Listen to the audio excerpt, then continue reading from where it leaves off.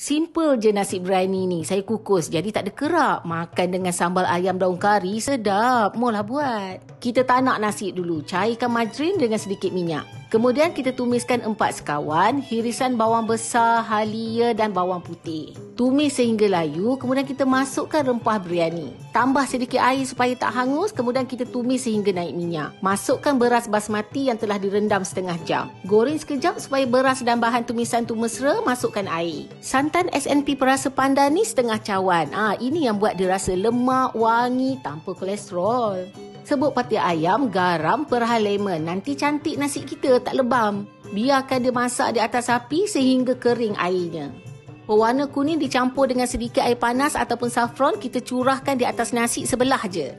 Tabur daun pudina, kemudian kita kukus 35 minit. Sambil tu, goreng ayam yang telah digaul garam kunyit untuk kita buat sambal ayam daun kari. Bahan kisar, bawang, bawang putih, halia, kita tumis sehingga wangi, masukkan juga daun kari. Dah elok wangi kekuningan, masukkan cili kisar dan tumislah sehingga naik minyak.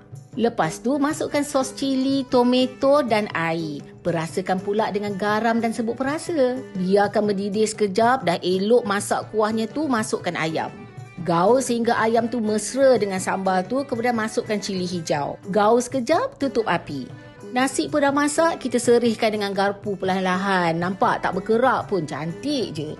Taburkan bawang goreng, dah siap.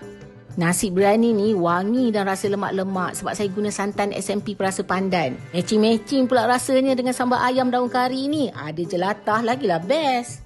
Sedap makan nasi biryani dengan jelatah. Koma jangan berani sangat langgar SOP PKPP ni. Kena tangkap, ha, buat-buat melatah.